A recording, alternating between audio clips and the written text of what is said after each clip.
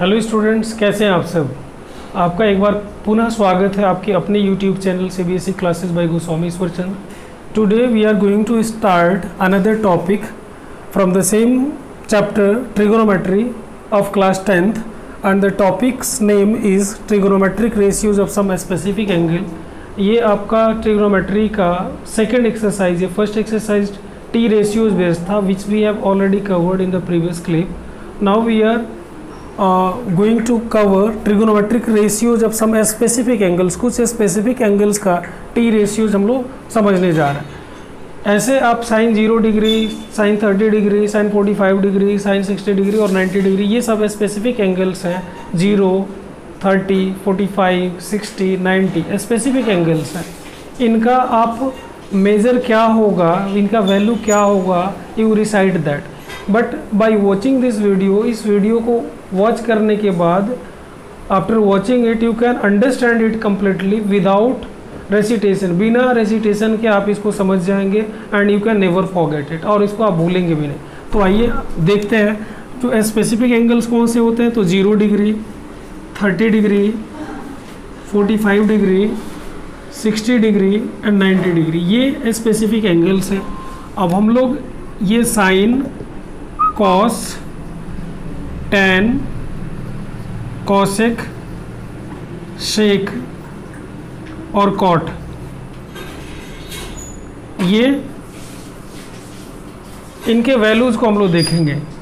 सबसे पहले लेटेस्ट सी इनको मैं अलग अलग कॉलम में आपको समझा रहा हूँ। आप इसको ध्यानपूर्वक देखेंगे। लेटेस्ट सी हम साइन के लिए क्या करते हैं? मान लीजिए यहाँ साइन ज़ीरो डिग्री के लिए आप ज़ीरो डाल दीजिए। ये ज़ीरो डिग्री हुआ। This is thirty degree thirty degree के लिए आप वन डालिए। फोर्टी फाइव डिग्री के लिए आप टू डाल दीजिए। वन टू सिक्सटी डिग्री के लिए थ्री डालिए और इस नाइन्टी डिग्री के लिए हम लोग यहाँ फोर डालते हैं। और इन सबको आप फोर से डिवाइड कर दीजिए। Zero by four one by four two by four three by four आपको रटने की बिल्कुल ज़रूरत नहीं पड़ेगी, ये मैं गारंटी करता हूँ। बस इतना आपके दिमाग में रहेगा easily you can do four से डिवाइड किए, उसके बाद आप स्क्वायर रूट चढ़ा दीजिए इसके ऊपर स्क्वायर रूट स्क्वायर रूट चढ़ा दिया गया। नाउ कैंसिल इट जहाँ जहाँ कटने वाला जैसे टू वन जर टू टू टू जर फोर ये कटने वाला है फोर वन जर फोर ये कैंसिल हो गया। ज़ीरो बाई फोर का वैल्यू क्या होगा? ज़ीरो होगा। क्योंकि ज़ीरो फोर, ज़ीरो में फोर से डिवाइड करेंगे, ज़ीरो होगा, ज़ीरो का स्क्वायर रूट ज़ीरो आएगा। वन बाई फोर का square root one by two होता है। तो ये वन बाई टू हो गया, इसको इसको करेंगे तो वन बाई रूट टू आएगा। And this will be root three का स्क्वायर थ्री का स्क्वायर रूट रूट थ्री होगा फोर का स्क्वायर रूट टू हो गया अब वन का स्क्वायर रूट वन होगा। तो इस तरह से we have come to the conclusion that sine zero degree is equal to zero thirty degree is equal to one by two forty five degree is equal to one by root two sixty degree is equal to root three by two ninety degree is equal to one तो ये sine zero degree से ninety degree का values हम लोगों ने बस इस trick से निकाला।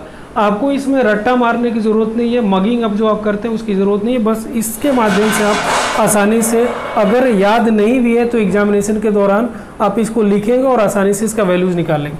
और बाकी वैल्यूज़ तो बस जस्ट उसके अपोजिट होते हैं, जैसे अब साइन ये कॉस का है कॉस ज़ीरो डिग्री तो इधर से शुरू करें। तो वन हो जाएगा। ये वन हो गया। थर्टी डिग्री तो ये root three by two forty five degree तो वन बाई रूट टू जो ये है, और सिक्सटी डिग्री तो ये थर्टी डिग्री का वैल्यू हो गया वन बाई टू और फिर नाइन्टी डिग्री तो साइन ज़ीरो डिग्री का वैल्यू तो ये ज़ीरो हो गया। फिर उसी तरह से टेन टेन का वैल्यू तो एक चीज़ है कि sine theta by cos theta is equal to होता है टेन थीटा मतलब साइन थीटा में हम कॉस थीटा से भाग देते हैं तो टेन थीटा होता तो उस तरह से हम इसमें ज़ीरो में वन से भाग देंगे तो ज़ीरो होगा। तो tan zero degree is equal to zero. One by two में रूट थ्री बाई टू से भाग देंगे। देखिए यहाँ one by two divided by root three by two तो डिवाइड करेंगे तो one by two into two by root three root ये टू टू कैंसिल हो जाएगा तो वन बाई रूट थ्री उसी तरह ये one by two one one by root two one by root two divide किया जाएगा तो वन होगा। इसको डिवाइड करेंगे तो रूट थ्री होगा। और वन में ज़ीरो से डिवाइड करेंगे तो चूँकि इसका आ, कोई वैल्यू नहीं निकलता इसलिए इसको अनडिफाइंड भी कहते हैं।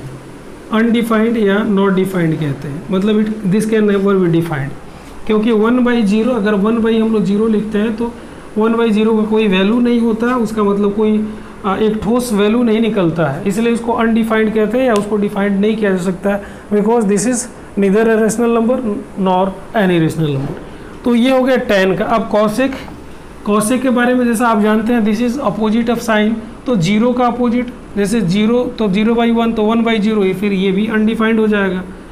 अपरिभाषित जिसको हिंदी में कहते हैं अनडिफाइंड वन बाई टू का अपोजिट टू हो गया वन बाई रूट टू का अपोजिट रूट टू यहाँ टू बाई रूट थ्री और यहाँ वन का अपोजिट वन ही होगा। तो ये कौशिक हो गया। आफ्टर दैट सेक सेक का देखते हैं।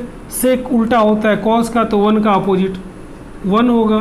फिर two by root three by two का two by root three, one by root two का फिर root two, one by two का टू और ज़ीरो का अपोजिट बाई अनडिफाइंड इसका भी अपरिभाषित। हिंदी में इसको अपरिभाषित कहते हैं क्योंकि ज़ीरो का अपोजिट नहीं होता। उसके बाद है cot cot zero degree cot zero degree तो टेन का अपोजिट तो यहाँ फिर वही अनडिफाइंड होगा। क्यों अनडिफाइंड क्योंकि ये ज़ीरो है ज़ीरो का अपोजिट वन बाई ज़ीरो होता नहीं है। वन बाई रूट थ्री है तो इसका रूट थ्री वन का अपोजिट वन ही होगा। फिर रूट थ्री का वन बाई रूट थ्री और अनडिफाइंड का फिर यहाँ ज़ीरो हो जाएगा। तो by this way without mugging up और without recitation we have come to know all the specific angles or t ratios of all the specific angles what have been mentioned over here is 0 degree 30 degree 45 degree 60 degree 90 degree, इन सबके T ratios जो है, निकालने थे, उसको हम लोगों ने बिना याद किए, बिना रट्टा मारे हमने इसको लिखा। आप भी एग्ज़ाम के दौरान भी अगर भूल जाते हैं तो आप इस ट्रिक का इस्तेमाल करके आप याद कर सकते हैं, क्योंकि इसके आधार पे क्वेश्चंस आते हैं। अब जैसे क्वेश्चन आता है एग्ज़ाम में क्वेश्चन किस तरह का आता है या आपके टेक्स्ट बुक में कैसा क्वेश्चन है इसको देखते हैं। Now students after knowing the T ratios of दो some specific angles we are coming to the exercise exercise 8.2 exercise 8.2 पे आते हैं क्योंकि इसके पहले वाले ए, मतलब अभी थोड़ी देर पहले हम लोगों ने टी रेशियो जाना अलग अलग स्पेसिफिक जो एंगल्स थे उसका। अब उसका इस्तेमाल हमें यहाँ करना है कैसे इसको बनाते हैं इसको समझेंगे।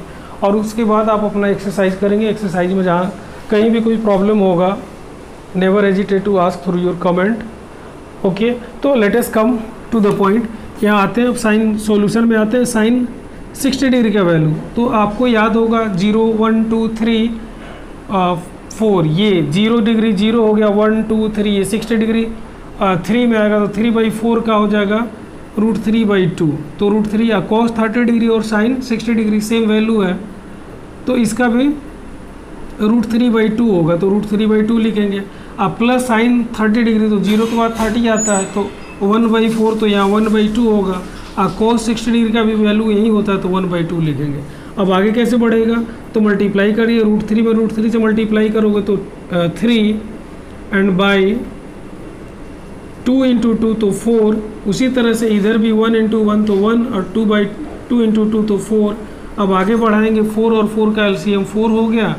हेयर ऊपर थ्री प्लस वन तो four by four is equal to one तो इस तरह से आप इसके क्वेश्चंस को 8.2 एक्सरसाइज जो कि ट्रिग्नोमेट्री का इंपॉर्टेंट एक्सरसाइज है, इस एक्सरसाइज में जो क्वेश्चंस है what are given there you can do by putting the values of those specific angles through the from the table what you have just learn तो उस टेबल से from that table you can put the values and you can calculate वही है बस this is all for the exercise and I hope and believe that by the help of the chart I have produced you और I have given you by the help of that you can do the exercise आप उस exercise को आराम से आप आ, कर लेंगे मैं उम्मीद करता हूँ।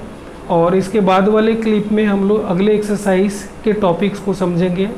तो तब तक के लिए धन्यवाद, लेकिन वीडियो को देखना जारी रखें और कंप्लीट वीडियो देखें।